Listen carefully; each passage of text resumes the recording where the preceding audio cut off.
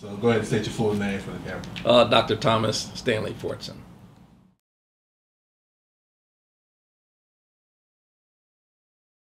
I think that the youth of the day have great opportunity, um, and I'm encouraged by what I see. I feel that I've just played a small part in this, like other uh, men my age, uh, with my experience, are, are, are doing. I think we're spending more time recognizing that it's not about our generation. It's not about us, but we, we're looking back on our lives now uh, as adults, uh, men in our 60s and uh, late 60s and early 70s, we're now looking in the rearview mirror, not as if our work is done, but we're seeing what we could have done better. As we look forward, we see the opportunities uh, that are ahead. Number one, the world is changing uh, rapidly. It's like we live in communities uh, that it's difficult to see the dividing line uh, we live in a country now that's that's changed. Whether it's the baby boomers, whether it's the millenniums, and each of those have different characteristics. Uh, the the, uh, the world of technology uh, has changed. It's interesting when I look at my kids. They they're telling me, Dad, you don't need a landline. Why do you have a landline? Why do you got a cell phone? Well, technology uh, uh, has changed, and I I've learned from them. And so as we learn, those of us that are older as we learn from younger people, we're recognizing that they have even greater opportunity uh, to be successful uh, than, than we did.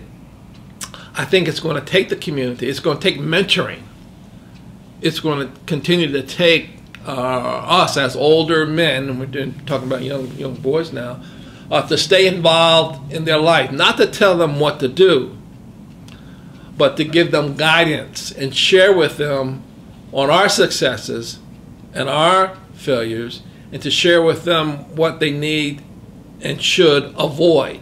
So I see great opportunities uh, in the future for our young people. At the same time, uh, there's there's still danger.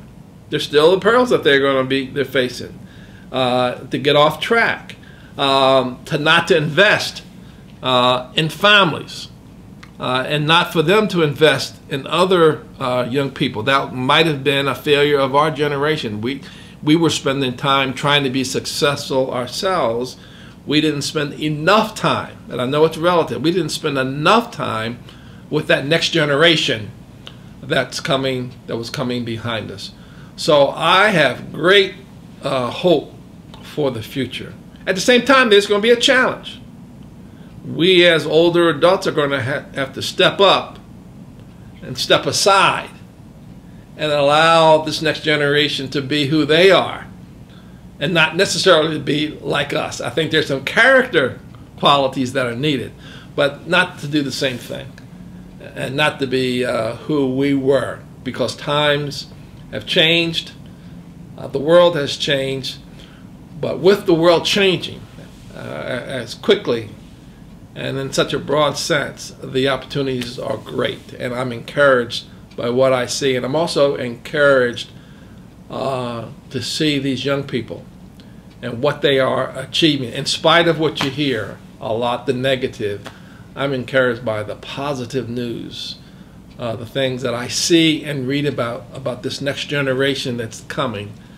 Uh, that will lead us to be uh, even more successful than we ever thought we could be.